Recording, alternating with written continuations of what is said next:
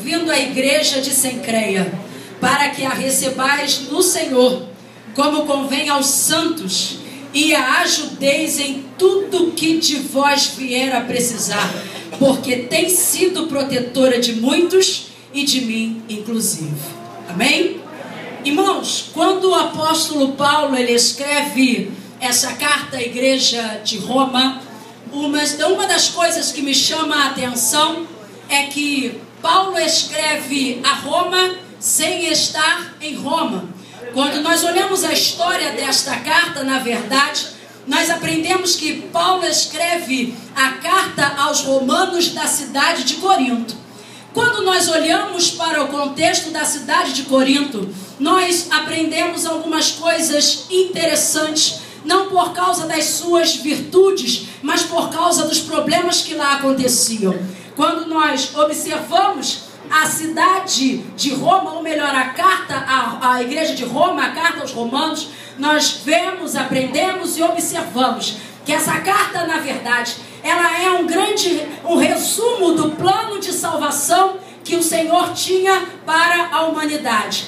Quando nós olhamos para esse texto, inclusive o, a, o reverendo Hernandes Dias Lopes, ele frisa que a carta aos Romanos é como se fosse a cordilheira dos Andes da revelação divina que o capítulo 8 seria o seu Monte Everest. Mas, como disse, o que chama atenção, principalmente na história dessa carta, é que ela não foi escrita em Roma, mas ela foi escrita em Corinto.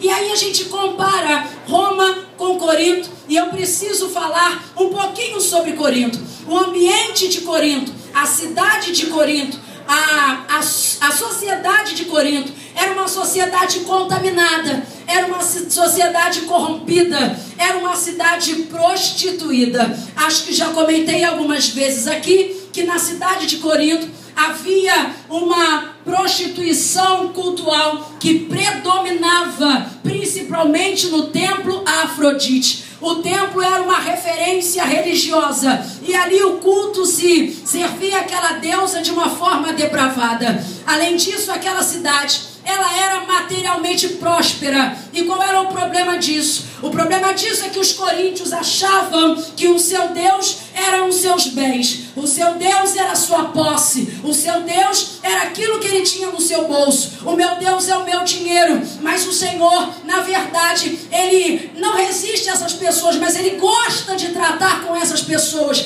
porque pessoas desse tipo, o Senhor usa justamente, aleluia, o seu poder para mostrar que existem coisas que o dinheiro não paga. Existem pessoas que agem dessa forma. E o que, que o Senhor faz? Muitas vezes o Senhor permite uma enfermidade, o Senhor permite que venha um câncer, o Senhor permite que venha uma AIDS, o Senhor permite que venha uma doença que a medicina ainda não conseguiu descobrir a cura, mas que essa pessoa, na verdade, vai acabar descobrindo que a cura não está na mão dos médicos, mas está nas mãos do Deus Todo-Poderoso que pode dar gratuitamente.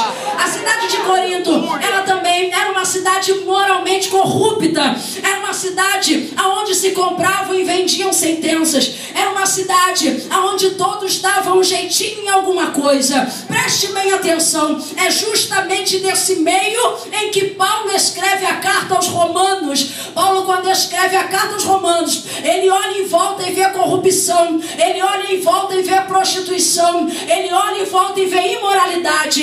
Mas sabe o que me arde no meu coração com relação a principalmente esse texto da carta aos Romanos? É que, independente da imoralidade, independente da corrupção, independente da prostituição, a semente da palavra do Senhor permanecia pura no coração de Paulo. Paulo não se deixa corromper por causa das coisas que estavam acontecendo em volta dele, mas ele preservou a essência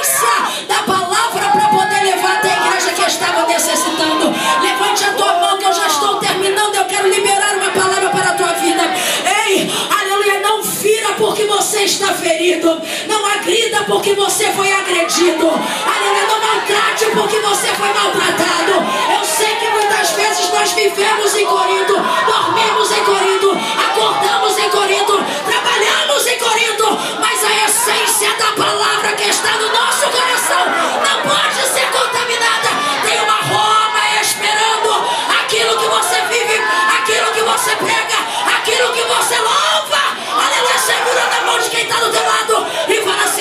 contamine.